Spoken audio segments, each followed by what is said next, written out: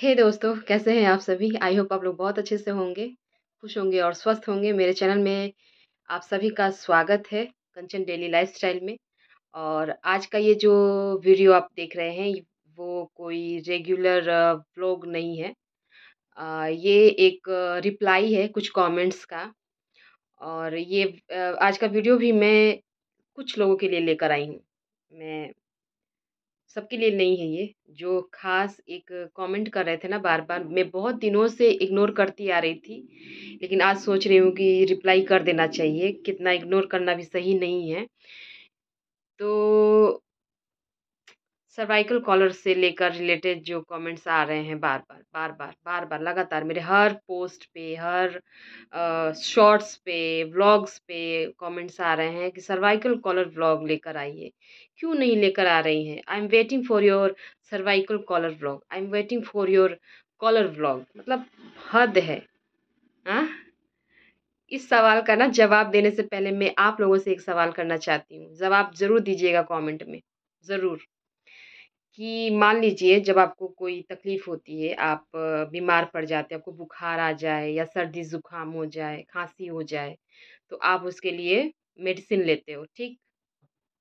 तो आप मेडिसिन कब तक लेते हो? जब तक आप बीमार रहते हो, जब तक आपको बुखार है, आप मेडिसिन ले रहे हो। लेकिन क्या ठीक होने के बाद भी आप लोग मेडिसिन खाते रहते हो? उस मेडिसिन को आप लोग नहीं छोड़ते हो? खांसी की मेडिसिन है, कोई सिरप आप पी रहे हो तो खांसी अगर कॉफ आपका एकदम सही हो गया है, फिर भी आप लोग वो सिरप पीते रहते हो, ज़िंदगी भर लेते रहते हो? ज़िंदगी भर बुखार की दवाइयाँ खाते रहते हो? नहीं ना? अगर खाते हो तो बड़े अजीब इंसान हो यार आप। आप ठीक हो जाने के बाद भी कोई दवाई लेते हैं क्या? हुँ? तो मेरा जो सर्वाइकल कॉलर व्लॉग्स में लेकर नहीं आ रही थी, वो प्रॉब्लम थी मुझे। मैं स्पेशली उसी के लिए ब्लॉग, ये चैनल नहीं है मेरा कि मेरे चैनल पे सर्वाइकल कॉलर ब्लॉग्स ही आएँगे। नहीं भाई, वो प्रॉब्लम थी मुझे कुछ दिनों से, कुछ दिनों से नहीं, बहुत सालों से वो मुझे वो प्रॉब्लम थी, लेकिन जब मुझे कुछ मतलब दिनों के लिए लिखा गया था, डॉक्टर ने प्रिस्क्राइब किया था मुझे सर्वाइकल कॉलर पहनने के लिए।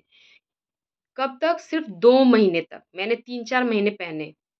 दो महीने लगातार पहना उसके बाद कभी छोड़ के कभी पहनती थी, कुछ दिन के बाद पहनती थी मतलब जब थोड़ी सी तकलीफ़ होती थी तब पहनती थी। अब मुझे काफ़ी राहत है, माता रानी की कृपा से अब मुझे उतनी ज़्यादा तकलीफ़ नहीं है, तकलीफ़ नहीं है, मैं बोलने में ना डरती हूँ, कहीं वापस से मुझे वो स्टार्ट ना हो जाए, इसलिए मैं क्लियर बोलती भी नहीं हूँ, लेकिन ठीक है भाई, मैं अब आराम है मुझे उन सब चक्कर में या इधर का पेन जो मुझे था, उसमें तो ठीक है तो जब मैं ठीक हो गई हूँ तो क्यों पहनूँ मैं कॉलर हाँ? एक तो कमेंट ऐसा भी आया था ना कि ये फेक है, ये व्यूज़ पाने के लिए कॉलर पहन के व्लॉग्स बनाती है। अच्छा सच में क्या? व्यूज़ के लिए मैं कॉलर पहन के व्लॉग बनाती हूँ। कितने व्यूज़ आए हैं? ज़रा मेरे चैनल पे जाइए और, जो मेरे कॉलर व्लॉग्स हैं, उनको ज़रा देखिए, कितने व्यूज़ हैं? मिलियंस में हैं। क्या पता शायद मिलियंस में आते हैं ना तो शायद मेरे मन में लालच आ जाता और मैं कॉलर पहन के ब्लॉग बनाती। किसी, इसी से मैं वायरल हो जाऊँगी। अरे यार, ये सब मेरे मन में ना वायरल होने होने के लिए जो ये लालसा नहीं है। ठीक है, मुझे अच्छा लगता है ब्लॉग बनाना, इसलिए मैं डालती हूँ। मुझे अपनी लाइफ की छोटी बड़ी खुशियाँ, दुख, जो भी है, खुशियाँ जो भी आती है, जो भी मेरे लाइफ में आता है ना, जो मेरा मन करता है कि मैं लोगों के साथ शेयर करूँ, मैं मैं करती हूँ। अब ये लोग नहीं है, मेरे यूट्यूब फैमिली में मेरे फ्रेंड्स हैं, मेरे अपने हैं। तो उनके साथ मैं शेयर करती हूँ। अभी दस दिनों से लगातार, दस बारह दिनों से मेरे कोई व्लॉग्स नहीं आए तो मुझे फ़ोन कॉल आया कमेंट्स भी आया, बहुत लोगों के नहीं, क्योंकि इतने सारे सब्सक्राइबर भी नहीं है मेरे पास। लेकिन कुछ लोगों के लिए ही आते हैं ना तो मुझे अच्छा लगता है यार। मुझे कम से कम लोग ढूंढ तो रहे हैं ना मेरे ब्लॉग्स का इंतज़ार तो करते हैं। हम्म, तो नहीं आया तो सब परेशान हो गए थे।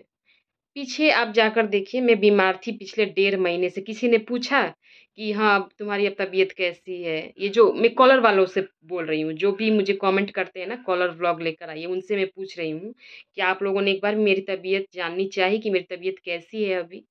हाँ? आपका ब्लड रिपोर्ट कैसा आया? आपके प्लेटलेट्स इतने डाउन क्यों हो जा रहे हैं? बिना किसी रीज़न के। कभी आपके मन में ये ख्याल आया? नहीं। आपको कॉलर व्लॉग उन दौर, उन सारे व्लॉग्स में भी ये कमेंट ज़रूर आता था कॉलर व्लॉग डालिए। हद है। इंसानियत नाम की चीज़ ही नहीं, जैसे कोई सेंटिमेंट ही नहीं है अंदर आपके। हाँ?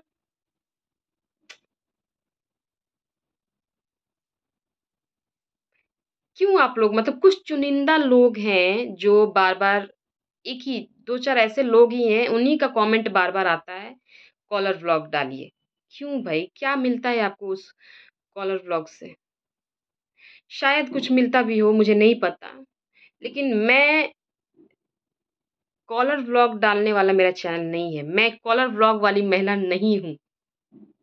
मुझे तकलीफ़ थी, मैंने यूज़ किया, अब मुझे राहत में, मैंने उसको उतार के रख दिया। कॉलर व्लॉग ऑल टाइम पहनने से भी आपको उल्टा बीमारियाँ शुरू हो जाती हैं, कई प्रकार की दिक्कतें शुरू हो जाती हैं। आपको नहीं पता नहीं पता तो आप लोग डॉक्टर से कंसल्ट करिए, गूगल में पढ़िए, आपको सब कुछ पता चल जाएगा। बिना मतलब के ये कॉलर लटका के मैं काम नहीं कर सकती, बहुत दिक्कत होती है उसमें भाई। हाँ? इतने दिनों से बुखार में घर का काम कर रही थी तो वो करने में दिक्कत हो रही है। घर का काम तो छोड़ नहीं सकते। कॉलर पहन के मैं काम करूँ? मुझे समझ में नहीं आता क्यों आप लोग ऐसे ब्लॉग्स ढूंढते हो? चलो, कोई बात नहीं, मुझे समझना भी नहीं है कि आप लोग क्यों चाहते हो। लेकिन आज मैं इस एक बात ज़रूर क्लियर कर देती हूँ कि मेरे चैनल पे अब कॉलर ब्लॉग्स नहीं आएँगे भाई। भाई साहब, बहन जी मैं हाथ जोड़ के, मैं, मैंने एक हाथ से फ़ोन पकड़ा हुआ है, वरना मैं दोनों हाथ जोड़ के आप लोगों से क्षमा चाहती हूँ। मेरे चैनल पे अब कभी भी कोई भी कॉलर व्लॉग नहीं आएगा। सर्वाइकल कॉलर व्लॉग नहीं आएगा। ठीक है? आप लोग इंतज़ार मत कीजिए। एक मोहतरमा कहती हैं कि, आप कॉलर व्लॉग डालिए, क्यों नहीं आ रहे हैं? पता नहीं, कोई भाई साहब है कि मैं मैडम जी है, मुझे नहीं पता। मतलब हद है, हद, मुझे समझ में नहीं आता कि आप लोग कॉलर व्लॉग क्यों चाहते हैं। तो आज मैंने क्लियर कर दिया ना कि आपसे कोई कॉलर व्लॉग नहीं आएगा, अगर मुझे भगवान ना करे, मुझे अगर प्रॉब्लम होती भी है ना, अगर दोबारा से अगर मुझे कॉलर लगाना भी पड़े, मैं वो ब्लॉग ही रेडी नहीं करूँगी। मुझे लगता है ना कि मेरा चैनल किसी दूसरे वे में चला गया है। गिन चुन के दो चार ब्लॉग्स हैं कॉलर से रिलेटेड वो मुझे प्रॉब्लम थी, मैं डेली रूटीन ब्लॉग्स डालती हूँ। तो डेली रूटीन में वो चीज़ें भी आ जाती है जो आप डेली कर रहे हो, जो आपकी तकलीफ़ है, वो भी सामने आ जाती हैं।